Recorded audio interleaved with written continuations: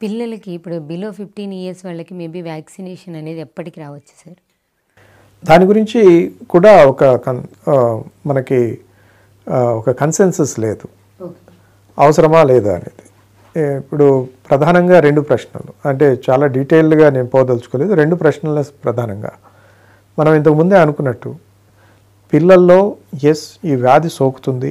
అలాగే ఈ వ్యాధిని వాళ్ళు వేరే వాళ్ళకి వ్యాప్తి చెందడానికి కూడా కారకులయ్యేదానికి చాలా అవకాశాలు ఉన్నాయి కానీ మనకు ఉండేటటువంటి డేటా ప్రకారం జనరలీ ఆరోగ్యంగా ఉండే పిల్లలు అంటే అదర్ దాన్ నేను మీ కింద చెప్పినట్టు ఊబకాయమో లేకపోతే ఇమ్యూన్ డెఫిషియన్సీనో ఉండే పిల్లలు కాకుండా సాధారణమైనటువంటి ఆరోగ్యంతో ఉండే పిల్లల్లో తొంభై తొమ్మిది శాతం మంది పిల్లల్లో అసిమ్టమాటిక్గా కానీ లేకపోతే చాలా మైల్డ్గా కానీ వచ్చిపోతుంది.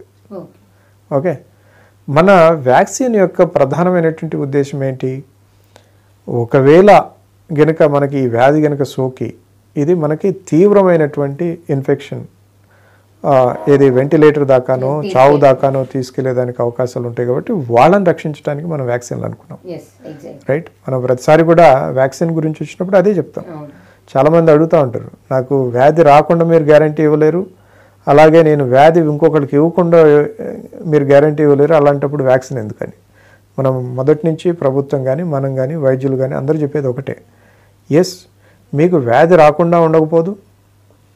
మీకు మీరు మీ దగ్గర నుంచి వ్యాధి సోకకుండా వేరే వాళ్ళకు కూడా ఉండకపోదు. కానీ ఒకవేళ పొరపాటున కనుక మీకు ఆ వ్యాధి కనుక వచ్చేటట్టయితే మీరు తీవ్రమైనటువంటి ఇబ్బందులు పాలు కాకుండా వెంటిలేటర్ మీదకు పోకుండా చావును చవి చూడకుండా ఉండేదానికి హెల్ప్ చేస్తుంది. సో అది మనకి ప్రధానమైనటువంటి ఆ, ప్రశ్న.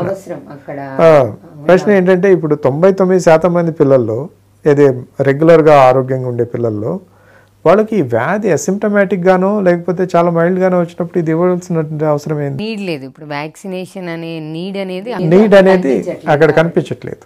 అదే ఇంకొక రకంగా ఉన్నట్టయితే ఏది ఒకవేళ ఈ వ్యాక్సిన్ వల్ల అసలు మీకు ఎప్పుడు జీవితంలో లైక్ మనం బీసీజీ కానీ ఇంకొక వ్యాక్సిన్ కానీ అవి తీసుకున్నప్పుడు ఇంకెప్పటికి రాదు.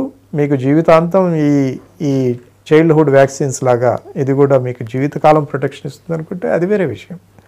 కానీ ఇక్కడ మనకు అలాంటి పరిస్థితి లేదు. మనం దాని గురించి ఎక్కువ భయపడాల్సిందే అందువల్ల ప్రభుత్వం ఇంకా దాని గురించి ఆలోచిస్తుంది. రెండవది ఇప్పుడుండే వ్యాక్సిన్లు అన్నీ కూడా చాలా స్వల్ప కాలంలో తయారైనటువంటి వ్యాక్సిన్ ఇది దీర్ఘకాలికంగా ఎలా ఉంటాయి అనేది మనకి ఇంకా స్టడీస్ వస్తూ ఉన్నాయి రైట్ ఇప్పుడు అదే పెద్దవాళ్ళు అనుకోండి వాళ్ళ జీవితకాలం అనేది ఇంకా ఒక ఇరవై సంవత్సరాలు పదిహేను ఎంతో ఉండొచ్చు రైట్ అదే చిన్నపిల్లలు వాళ్ళు రాబోయే తరం వాళ్ళ జీవితం అంతా వాళ్ళు వాళ్ళు అంటే ఒక వంద సంవత్సరాలు బతకాల్సిన వాళ్ళు. ఒకవేళ ఏది ఈరోజు రేపు మనం గమనించినటువంటి సైడ్ ఎఫెక్ట్స్ ఏదైనా మిడ్ టర్మ్లో కానీ లాంగ్ టర్మ్లో కానీ గమనిస్తే అది కనుక వాళ్ళకి వస్తే పరిస్థితి ఏంటి అనేది ఇంకొక ఆలోచన.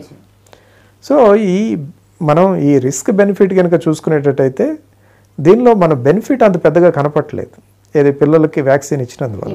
పదిహేను సంవత్సరాల క్రింద ఉండేవాళ్ళు. సో కాబట్టే ప్రభుత్వం దాని గురించి ఆచితూచి అడుగులు వేస్తుంది. అది చాలా సహేతుకం. మనం ప్రభుత్వాన్ని చాలా విషయాల్లో మనం నిందించవచ్చు కానీ ఈ విషయంలో మాత్రం నేను అనుకోవటం చాలా సహేతుకం. ఆచితూచి వ్యవహరించాల్సినటువంటి అవసరం ఉంది. అందులో చాలా పెద్ద భవిష్యత్తు ఉన్నటువంటి పిల్లల గురించి తీసుకునేటటువంటి డెసిషన్స్ మనకి solid scientific evidence and proof ఉన్న తర్వాత మాత్రమే తీసుకోవాలి.